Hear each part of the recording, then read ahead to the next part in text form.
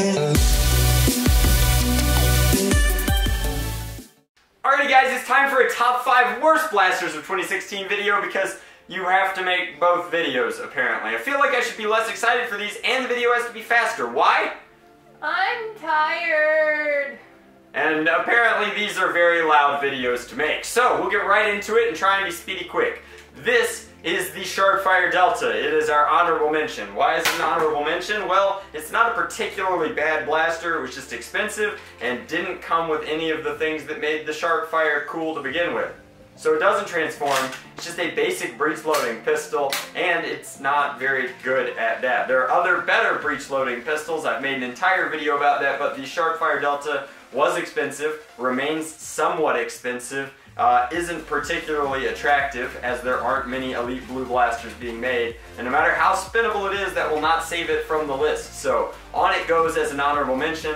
This was not a very exciting blaster this year. It was a complete and total recoloring of a blaster that we didn't like too terribly much the first time. Number five is the Lightning Bow. Didn't your Lightning Bow break during the review?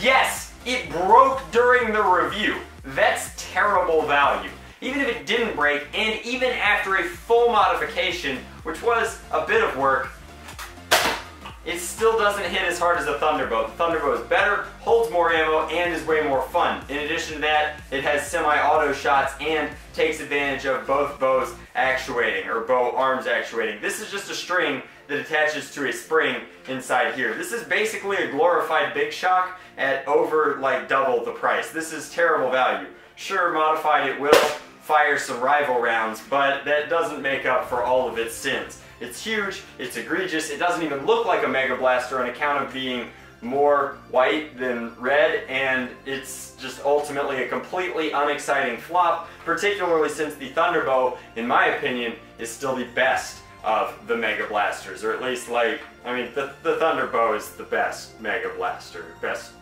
ranges, best fun, it's, it's just the best. Number four on my list is the Ravager. This is an incisor, not a Ravager. So I thought that I had a Ravager. I actually thought that I had two, and I distinctly remember giving away one. I give away a bunch of blasters every year around this time, um, and I must have given away the only one that I had. No big deal, the Ravager was an 8-shot Springer blaster that looked a lot like the Incisor, but whereas the Incisor is cool and takes advantage of this aesthetic, the Ravager looked kind of cool and was just a really expensive Smart AR Springer with a lot of moving parts that could not work. It was not the best. It was a perfectly good waste of a Springer pump action slot that I would have much rather seen go into some sort of CS blaster. There's another Springer pump action blaster on this list. I'm not happy about how that was played the entire year. Spoilers. Number three on this list is actually three blasters. It's the glow shot, it's the bow strike, it's the clamp down. Why? Because these are garbage. They're just fancy jolts.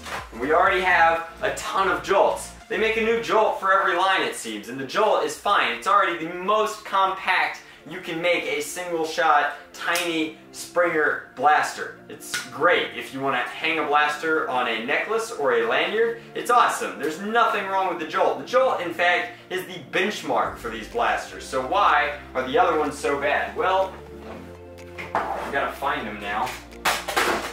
They're way bigger than they need to be, which makes them clunky. They're not as easy to do those things with as the Jolt, and they're ergonomic nightmares compared to the Jolt. The Jolt is already so small that it makes like actual concealed carry firearms look good. These are terrible because you're getting awful performance out of something that's already uncomfortable to hold. I don't like these at all. I'm tired of them showing up in every line. These guys both miss two of the metrics that are very, very important for me in my reviews, and they are both more expensive and less effective than their counterparts. So they replace production line room for jolts, and they are more expensive and they are less ergonomic. They're just a terrible trade-off in every capacity. So I don't know why they cost as much as they do, but I don't think they're good value. Unless you want to take your jolt to a rave.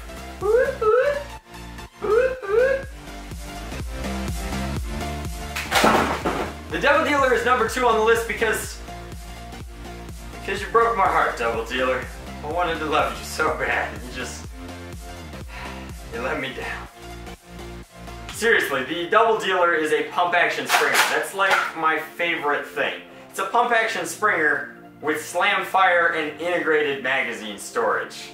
That's win, win, win, and it does something unique. Right? Wrong. The Double Dealer doesn't do any of those things well. And you put a magazine in here. Fumble, fumble.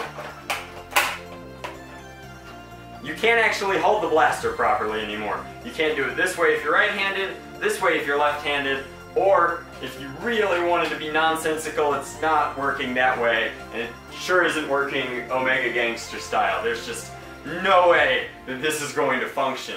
These are, however, the one saving grace to the Double Dealer. The only thing keeping this poor Heartbreaker from being number one is that these are pretty sweet. They're basically PMags from Hasbro themselves. Now, a lot of people like to make fun of the Double Dealer. They make fun of it by calling it the airplane. I spent a lot of 2016 on airplanes, and airplanes are magical and cool, guys. Period. Airplanes are sweet. The Double Dealer becomes quite cumbersome when you put these extra magazines or anything bigger than this certainly on it and frankly it just doesn't work that well. That's the biggest problem with it is if it weren't an ergonomic nightmare to actually store the stocks in here it would be a very comfortable, very compact pump action springer that did something cool with two shots at a time. The problem with it is that it doesn't ever do two shots at a time. It jams all the time. It likes rolling darts over in and of itself and then it'll sometimes like, it's just, it's so fickle and hard to play with. It has let me down at more wars than I can remember. I've taken it to at least three SE&C wars, and I get disappointed in it and revert to the Death Dealer every time. So this airplane crashes. Bad. The number one worst blaster of 2016 is another pump action Springer. I'm detecting a pattern here. Drac might be biased. You keep using that word, and I don't think you know what it means. Biased. The Battle Scout is a ridiculously expensive blaster. It's ridiculously expensive because it comes with a camera. The camera is bad. Technically, the camera is not that bad. The camera is just outdated and the audio is what's really, really bad. So, take away the camera. What are you left with? Bad. Lots of bad. The worst blaster of 2016 bad. Why? Well, let's start at the front. This is a clip, not a magazine. Yes, I know the difference. Yes, I say clipazine. I do it because it annoys gun people. It's a silly, silly debate. But this is non-compatible with any Nerf products. Now, just like Boomco, which does the same thing, there's no excuse for this one. They could just as easily have made this a pump action magazine fed blaster. It could have been side feeding a la Rampage, or it could have been feeding from the bottom like an Elite Alpha Trooper, in which case it would have been a really cool angled foregrip blaster. But it's not. It has this thing. Do you know what you do when you're out with this thing? Nothing. Because it only comes with one and nothing else works with that clip. It is a terrible design choice to take a platform built, the N-Strike platform, on cross-compatibility of things give it all of the nice things like barrel and stock attachment points and rails, and then put garbage on them and make it so that it won't work with any of the N-Strike box style magazines.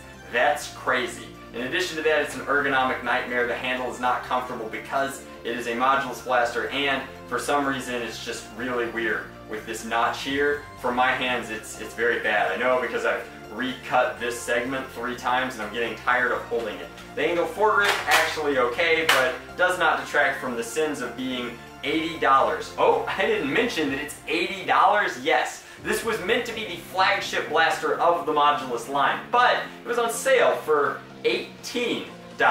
Why? Well, because Hasbro saw this ship burning on the Pacific and decided that maybe before anyone would notice that it was on fire, they would sink it to the bottom of the ocean by trying to sell them out. But it didn't work. Now they're back at like $60 in most stores and they seem to still exist.